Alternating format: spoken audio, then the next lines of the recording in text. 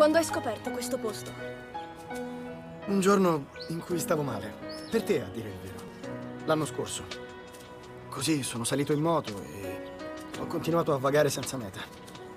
Poi è successo qualcosa al motore e allora mi sono messo a camminare. E sono arrivato qui.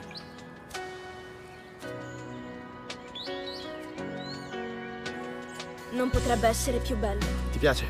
Sì, Leon, è stupendo.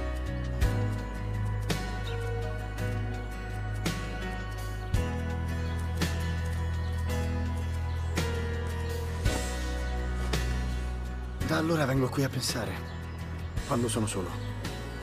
Questo posto mi trasmette calma, sento che... Che tutto ritrova un equilibrio. Esatto.